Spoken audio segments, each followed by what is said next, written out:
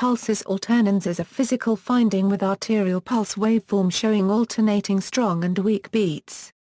It is almost always indicative of left ventricular systolic impairment, and carries a poor prognosis.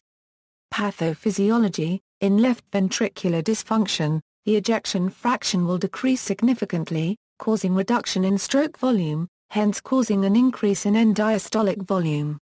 There may initially be a tachycardia as a compensatory mechanism to try to keep the cardiac output constant.